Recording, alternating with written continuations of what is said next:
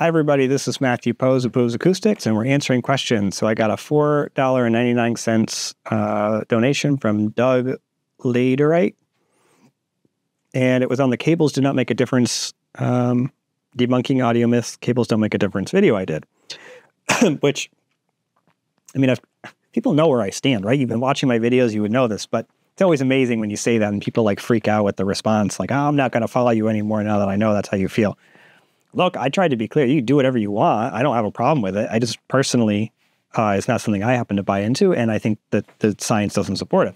So that's a side issue. So the question was so glad you answered the question in this way. Can you give an example of a Class D amp with a good damping factor versus one with a bad damping factor, and how this will affect the sound and performance? Um, so Hypex amplifiers, Purifi amplifiers, the newest uh, Texas Instruments amplifiers, some of the better, newer stuff from Maxon. Like there's lots of chip companies out there that make good Class D amps, tend to have higher damping factors. Those Purifi and Hypex amplifiers are really high. Pascal makes uh, amps with pretty high ones. Ice now all have really high damping factors. And because of that, um, you know, there, there isn't as much issues with that. Um, the older uh, Texas Instruments amps tended to have really low damping factors, and a lot of the really cheap Class D amps that are built into devices like your phone or a little portable boombox speaker, often those have lower damping factors. I would be really shocked if you ever were to have something like that in your house, unless you had an old Class D amp that you were using in your system. So, from damping factor standpoint, I mean, it, you would have to be using a pretty cl- crappy Class D for that to be an issue. Now, um, what would you hear in a low versus high? So here's one of the issues with that. The same design approach that gives you a high damping factor in a, in a Class D amplifier also gives you a better response, frequency response in a, more linear amp.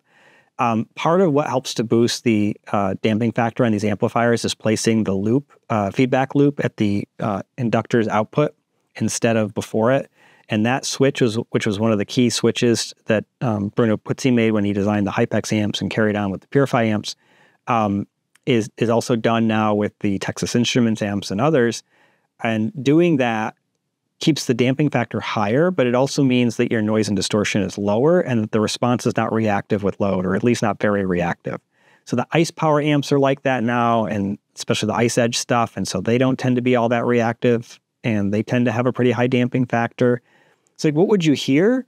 I mean, it, you're combining multiple issues. And so I don't want to say damping factor in and of itself is what's causing this. I actually think it's the other part of the problem, but the frequency response can be pretty far off.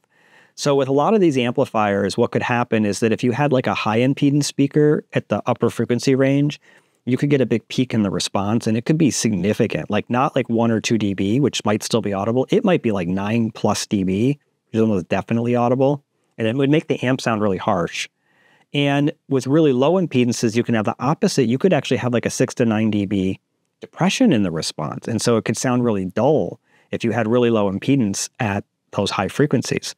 So a lot of the sound quality issues people associated with Class D came from a variety of factors, but one of which was the fact that the frequency response changed with load and could cause peaks and dips. You didn't have a flat response. Um, and I've seen some where not only was there peaks and dips, there actually were literal. It wasn't like it was like flat peak and down. It was like trough, peak, trough, and then roll off. And all of that caused by just the way that the output filter was designed. And and so, I mean, I answered your question by uh, typing in a response, and you actually wrote back in things. I just got a Hypex, so I probably won't have to worry about low dampening. As it seems, the answer is no. You definitely don't. The Hypex amps are good for the most part, anything you're going to be using in a home theater today is probably going to be pretty good. Um, they're all really a lot better than they used to be to the point that they now, you know, it used to be like, well, when is it going to rival Class AB? And then it's like, oh, they rival Class AB. At this point, I don't know of many Class A, there are some, but I don't know of many Class AB amplifiers that can equal the performance of the best Class D amps. And the ones that do are because they've designed a Class AB amp with the same kinds of innovations that have been put into their Class D amps. So basically, they're just doing a much, much better job with the feedback circuits, and they have way more feedback than they used to being done correctly. Bruno did a video. So he, I've known him for a long time. I consider him like a friend. And um, he and I would have like email conversations about this stuff quite a bit. And then one day I just said, because he doesn't do a lot of videos, would you be willing to do a video with Gene Del and I uh, talking about this? And he got on there and he, you know, Gene, I think, asked some sort of a question related to um, why don't Class A B amps behave more like these new Class D amps? And he, he basically said because the people who designed them didn't know what they were doing. They weren't actually very good electrical engineers and they weren't designing feedback loops very well and that the real reason why amplifier manufacturers, especially in the 80s and 90s, started to advertise no feedback designs was not because that was a good thing. It was because the feedback designs that had existed before then were so poorly designed that you'd be better off with nothing than what they were doing. But that wasn't that feedback was bad. It was that they were designing the feedback circuits incorrectly. And he said the one of the arguments why you know that's true is just go and look at how digital filters are being handled because feedback loops are a very common part of that. He said the way he designs the feedback loop in his Class D amps is very similar to how feedback loops are designed in these uh, digital filters. Now, to be clear, remember, Class D is not digital. D does not stand for digital. And Class D amps are not digital amplifiers. But um, the, the uh, feedback loops are far superior now than they used to be. And as a result of that, very high feedback is not a bad thing. It's actually a very, very good thing. It makes the amp sound much better. So there are some companies that have designed some very high feedback Class A B amps that perform as well or better than the best Class D amps. But most of them do so at very low output power. And I'm yet to see any that can rival what the best Class D can do at the same kind of power levels. Doesn't mean we're never going to see that. We might, but we haven't seen it yet. But remember, there's other reasons. This is off what this guy has been talking about. There's other reasons to use Class D besides how good they are in terms of cleanliness. And I've talked about this too. So most Class AB amps waste the vast majority of their electricity, even in their most efficient operating range, as heat. And you have a limited amount of power that comes out of your wall. We have more channels than we've ever had before in history.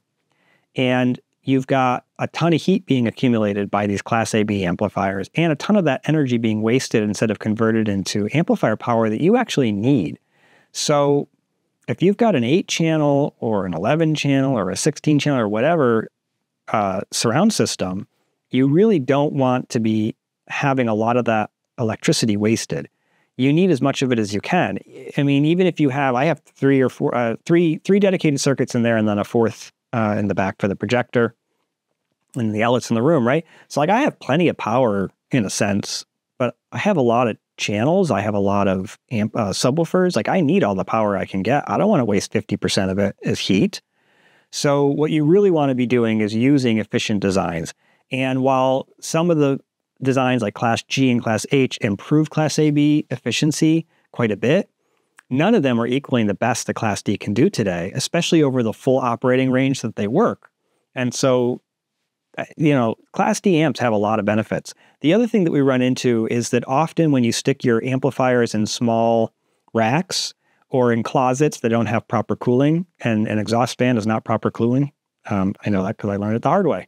Um, the Class AB amplifiers will end up producing a lot of heat. They heat up the closet or the cabinet and can cause the amp to fail early or even overheat. So having a Class D amp reduces the amount of heat that's produced quite a bit. And that is better because then your closet doesn't heat up as much or your cabinet doesn't heat as much. So Class D amps are a good idea for other reasons, not just because they happen to be performing so well these days.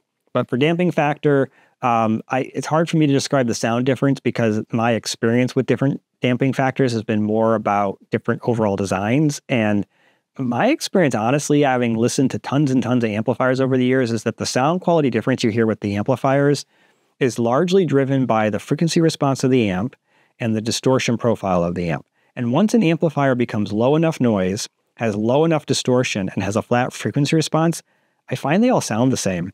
And then it becomes the at limit behavior. So then what happens after all that has been kind of factored in is, is how the amplifier clips or not. So if you have an amplifier that has 9 dB of headroom over what you're ever going to use, for instance, which is a ton, you're never going to hear it clip.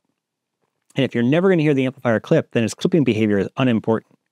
Now, we rarely can have that much headroom, so maybe all you've got is one or two dB of headroom. In that scenario, you might clip the amplifier from time to time with certain kinds of peaks. And some amplifiers, when they clip, especially some of the Class Ds, it's like a current limiting kind of thing where it actually it clips and it's really hard. It's like a very aggressive clipping, and that can create clipping amps. It creates distortion that's very uh, uh, hard sound. I don't know. It's, it's like edgy. So when you hear it, you'll you'll recognize it. So when it first starts to set on, the the sound you're hearing starts to become irritating. Basically, as it gets worse, eventually it sounds like things are just clearly distorted and there's problems. Um, so I I I mean the other sound difference would be there are ways to create whether it's class A, B, or class D. There are ways to create an amplifier that will soft clip so it doesn't create that square wave quite so aggressively. It actually will round it a little bit for you and um, the you know that's in clipping scenarios that's better. Obviously, the best scenario is you don't clip at all. But since we can't always be in a scenario where we have many times more power than we need, sometimes you need to design an amp that clips gracefully. All right. Anyway, that's off topic. Thanks again. These donations are really helpful. Subscribe to my channel so you can stay on top of all the new videos. Um, I'm heading to England soon.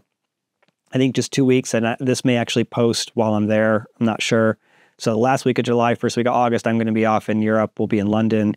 And we had had all these grand plans, and we're finding our time is getting constrained really quickly. So I'm going to meet up with my friend Peter Aylett, um, Ben Goff, um, David Meyerowitz, uh, and others. Hopefully, at least that's the plan right now. I'm hoping to do at least one video. I'm going to see my friend Matt Bentley, who I'm working on a project with, who has phone audio. And so hopefully he and I can do a video together as well. I've never met him in person. We're working on like a really cool project together.